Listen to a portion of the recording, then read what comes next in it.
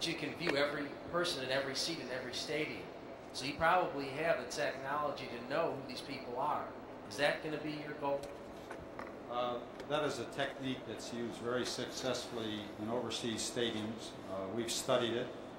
Uh, we think it will be effective in U.S. stadiums. As regard the uh, the hooligans, and I say they're Class C hooligans, which means they're carrying some kind of a conviction. In other words, they have some kind of a criminal record. If they come to our borders and we're able to successfully identify that criminal record, and it fits in with U.S. laws, we will turn them around at the border. Uh, and we are working very closely with a number of foreign police agencies who have cataloged these kind of troublemakers. We will take advantage of that. And let me, let me say this. I don't care if it's an American citizen or a foreign citizen. If they want to come to these games and enjoy the games, they are going to be welcomed with open arms. If they have another motive of coming to these games, they're simply not going to see the game. Okay, thank you. Paul Kennedy, Soccer America. My question is for Mr. Rothenberg or Mr. Blatter.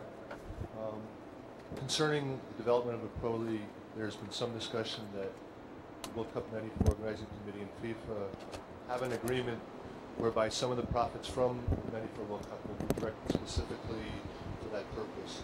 The question is one, what agreement, if any, is there and what purpose would it be for? The, the question from Mr. Kennedy is it's his understanding that uh, that the World Cup Organizing Committee, U.S. Soccer in general, and FIFA have an agreement that some of the, uh, the, the revenue should go toward the funding of a professional league. Uh, is that correct? And if so, what is the agreement? The understanding is that uh, to the extent that there is a surplus from the 1994 World Cup, 30% of it, at least, uh, will be dedicated to supporting professional soccer. Uh, I should also add that uh, the United States Soccer Federation does not view itself as being the entity that ought to be conducting uh, and operating professional soccer in the United States. So whatever monies uh, it may direct, it will do so to support, to create seed money and to support a league once it gets started, but there is no expectation that the U.S. Soccer Federation will actually run uh, the league or own the league. Okay. Yes, sir.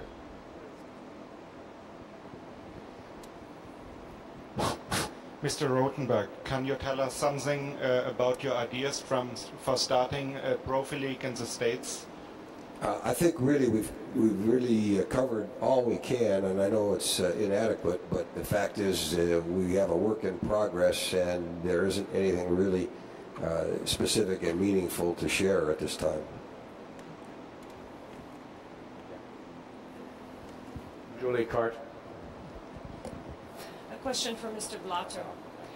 When the World Cup was awarded to the United States, uh, you had hoped in FIFA that a professional league, it's just no, a professional league would be in place by 1994. Now it's possible that one will be in place by 1995.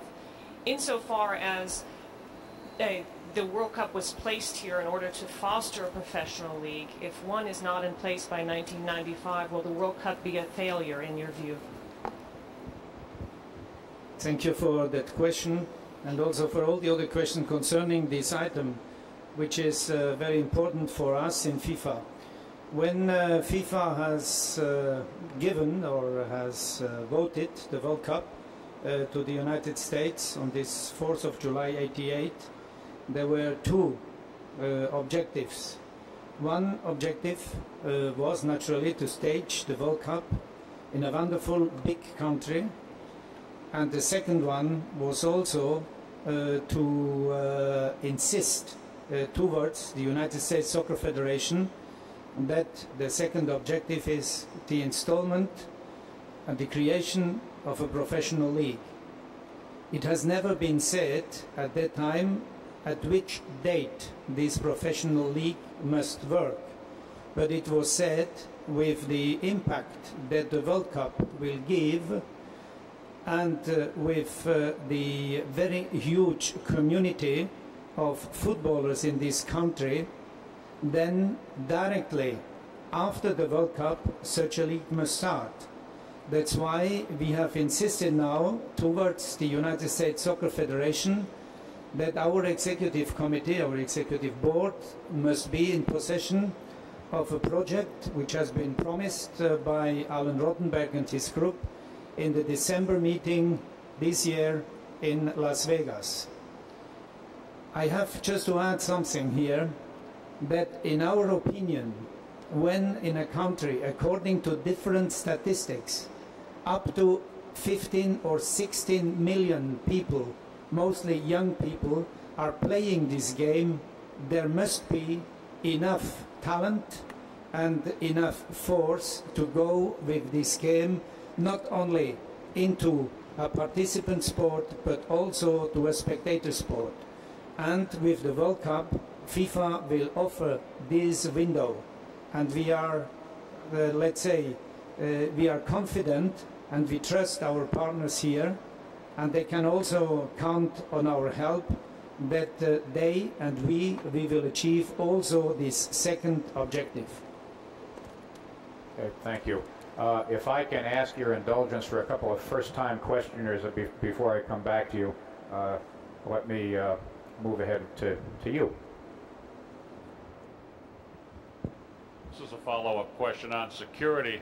There's been a lot of discussion in Michigan, particularly about the selling of alcoholic beverages in the venues, which I suppose dovetails into the hooligan question. We saw the results in, in Montreal just recently after their Stanley Cup celebration, what can happen when crowds get out of hand. Could uh, some of you discuss uh, the alcohol situation, please? That's another uh, area that we are closely scrutinizing. Uh, there's a lot of controversy and discussion of what is effective.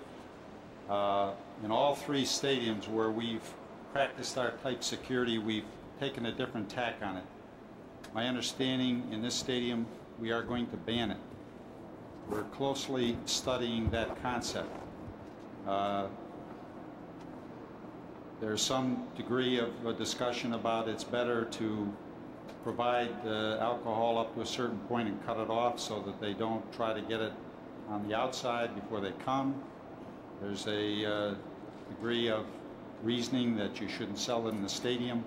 We have tried all three concepts. When we conclude with the U.S. Cup, we'll reanalyze that and we will make a decision before the World Cup whether or not we are going to sell any alcohol.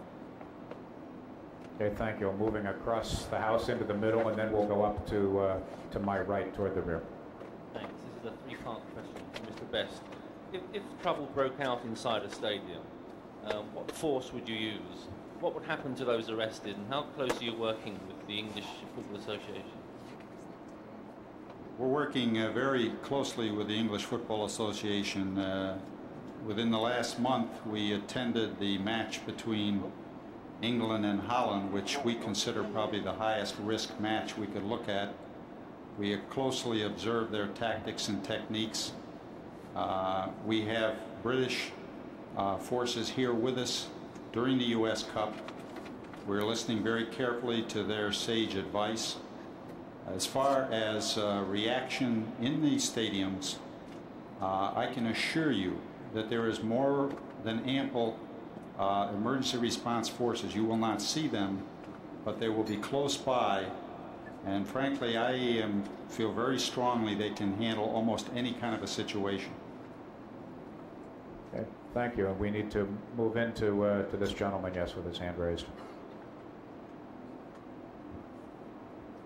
Uh, thank you. My name is Tony Doucette. I'm with the Canadian Broadcasting Corporation. Uh, question for Mr. Blatter. Uh, according to information provided by the organizing committee, the sizes of the pitches that are going to be used are, some might say, wildly diverse. I wonder if A, that is unusual, and B, uh, about the relatively tiny size of this particular one uh, in comparison to the others.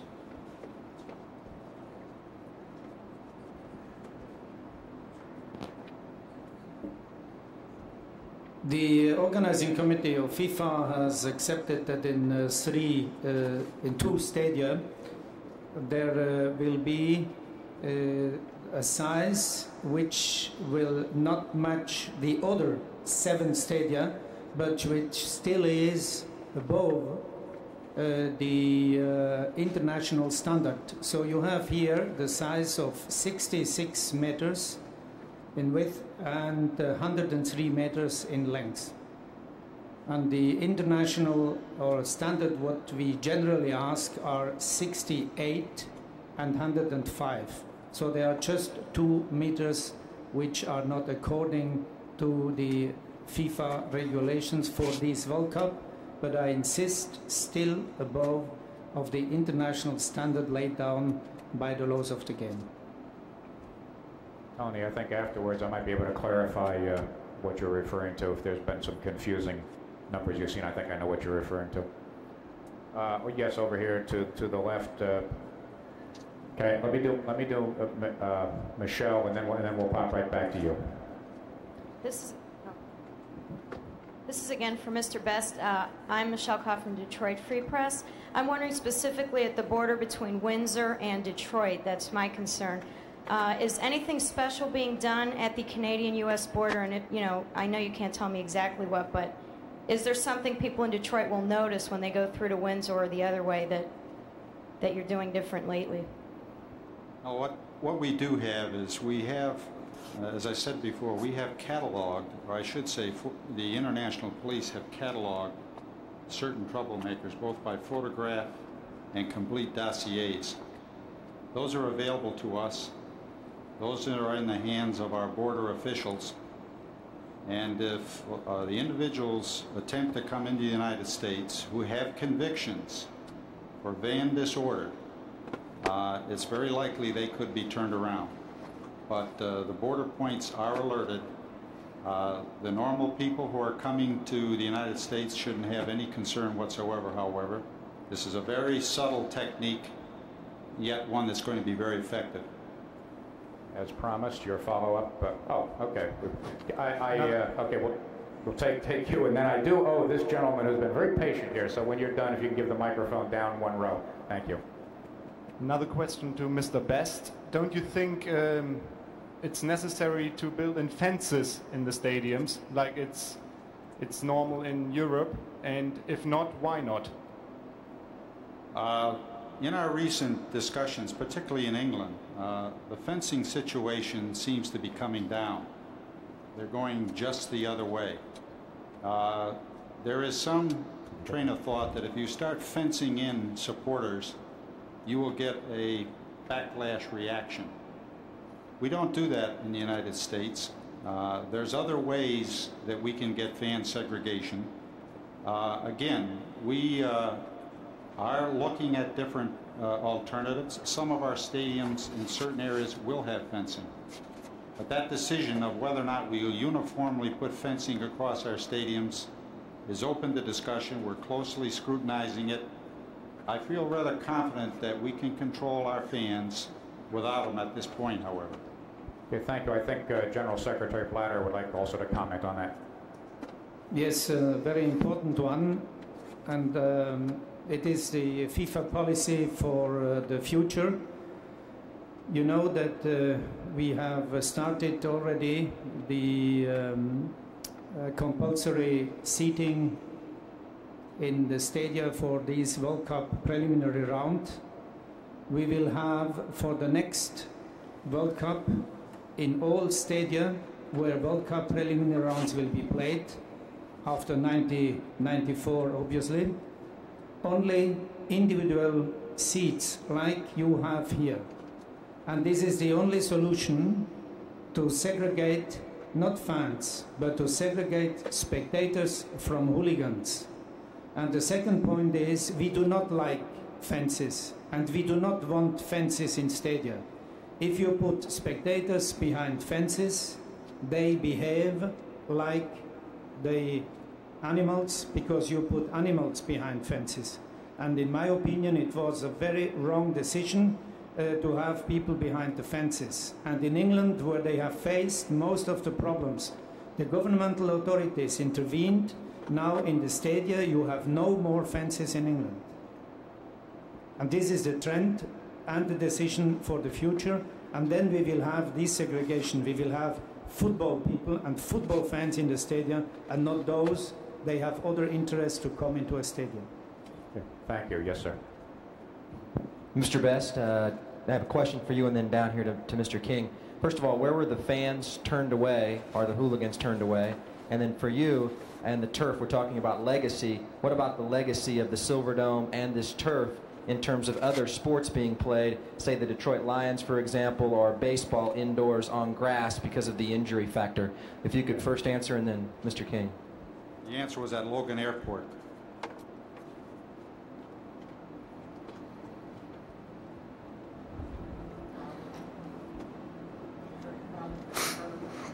No, there was not.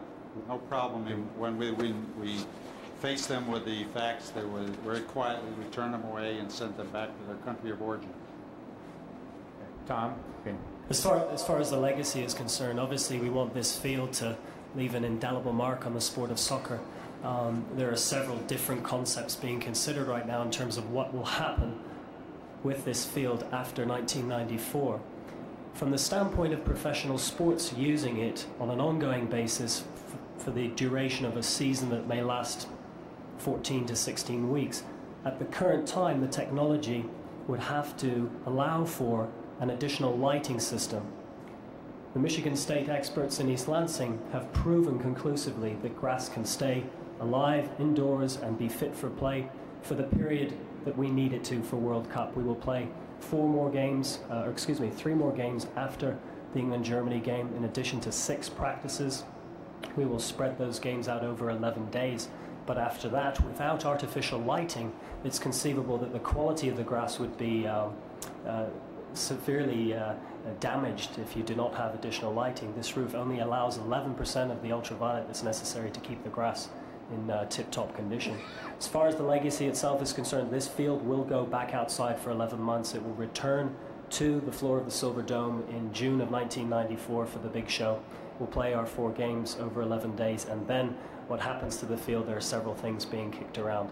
The field itself is very, very valuable, obviously. It could be sold off, um, it could be donated to a college program or a high school program um, as part of the legacy, or it could even be saved and uh, for the Pontiac Silverdome to submit a successful bid to host perhaps one of the, the venues for the 1996 uh, Olympic Games. So there's a lot of exciting things we can do with this field um, at the conclusion of the 94 Cup. Okay, thank you, Tom. We're uh, beginning to get very tight on time. We've got time for just a couple more, and I have one from Hank Schaller. I'm Hank Scheller from the Oakland Press here in Pontiac, and this question's to Mr. Best as well. Um, the Michigan legislature has passed a bill where during the World Cup next year, downtown Pontiac will be turned into a more or less Mardi Gras situation where downtown storefronts will be turned into bars. This happened during the um, Super Bowl in 1982. I was wondering, do you have any concerns at all regarding possibly uh, in in the Super Bowl, 150,000 people went downtown during a, during one week. Do you have any concern about tens of thousands of soccer fans from different companies, co- countries, possibly mingling together in downtown Pontiac with free and easy alcohol? Yeah, obviously, uh, experience has shown us that alcohol and fan disorder uh, are sometimes connected. Uh, we're not enthusiastic about that concept. I'm not sure it's been finalized. Uh, it will uh, provide an additional burden to law enforcement.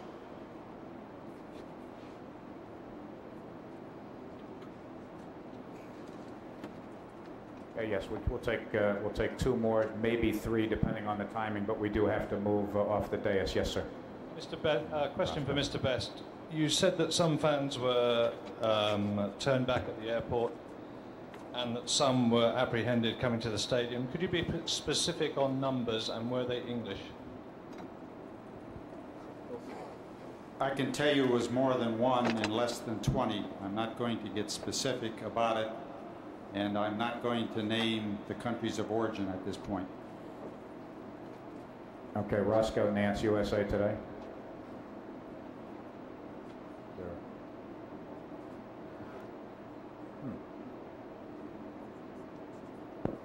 Question is for, uh, I'm Roscoe Nance from USA Today. My question is for Alan. You spoke about getting uh, tickets back uh, once construction is, reconstruction is done for media seating and perhaps from sponsors? Any idea of approximately how many you think you'll get back from those areas and how will they be uh, distributed? Uh, no exact uh, number. Uh, I don't want fans who are shut out to get uh, overly uh, enthusiastic because they will not be in vast quantities. Uh, I don't know for sure how they'll be distributed, but presumably it will be similar to what we did with the public sale. That is to say, we will run advertisements in newspapers of general circulation and probably on television announcing when and where and how those tickets can be purchased. Uh, and they will either be again by phone orders or else out at the Ticketmaster outlets.